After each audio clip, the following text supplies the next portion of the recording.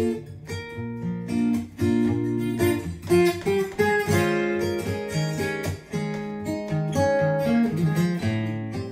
everyone, this is Doug Edgell here at fingersonthefrets.com. I hope you enjoyed the performance of uh, Let's Stay Together by Al Green. Uh, if you'd like the sheet music for that, uh, hit the product link below. It says tabs, and uh, you'll get yourself a really nice printout of the sheet music of what I just played. If you're at the website, there's a ton more uh, transcriptions, arrangements of songs, uh, beginner, intermediate, advanced, fingerstyle, a lot of acoustic strumming songs as well. So thanks for watching, and uh, we'll see you next time.